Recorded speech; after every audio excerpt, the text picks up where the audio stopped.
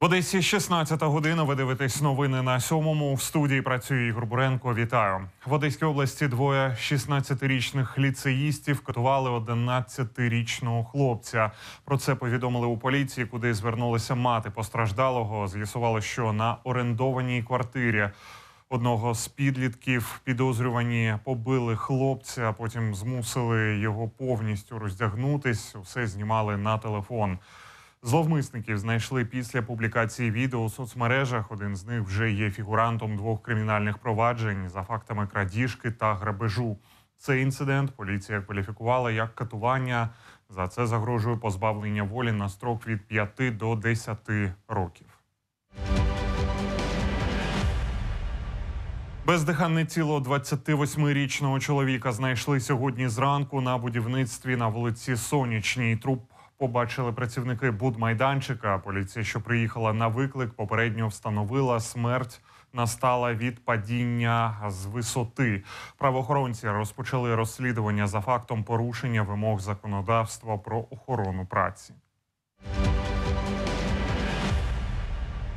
Одеський апеляційний господарський суд відхилив позов Державної канцелярії Республіки Молдова до ТОВ Максі Груп про визнання прав власності та витребування майна одноіменного санаторію. Представник сусідньої держави планує оскаржити це рішення. Всем было понятно, что в любом случае это решение будет обжаловаться вплоть до Верховного суда.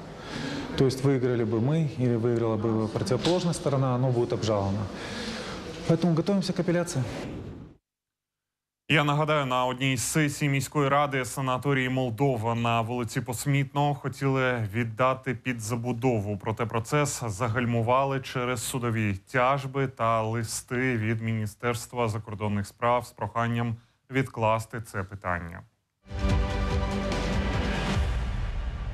Найтепліший день донора влаштували одесити на честь Дня Святого Миколая. Приблизно 70 донорів крові взяли участь в акції. Вперше її провели за лаштунками станції переливання крові. Лікарі приїхали до готелю. Як все пройшло, бачила Катерина Банкова.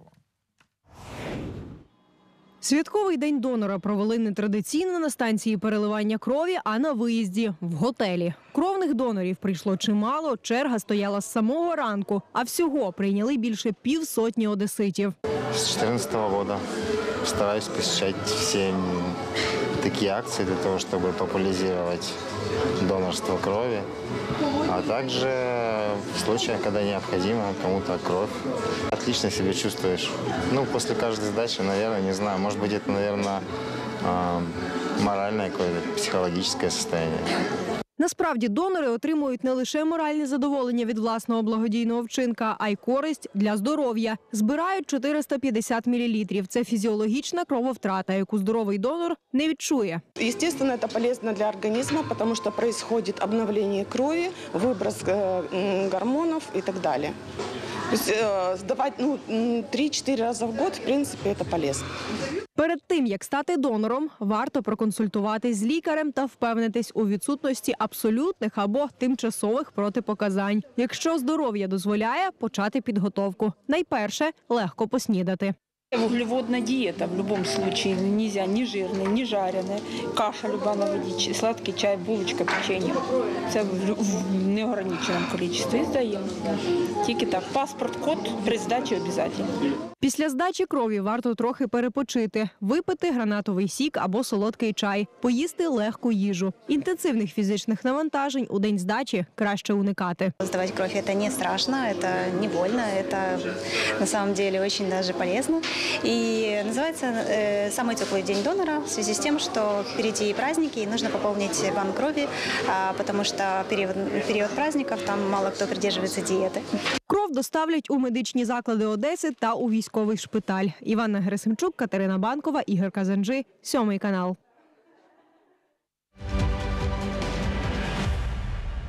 Щоб е, врятувати малі річки Одещини, Херсонщини та Миколаївщини від повного зникнення до 24-го року мають затвердити спеціальний план управління. Це обговорювали на другому засіданні басейнової ради річок при Чорномор'я.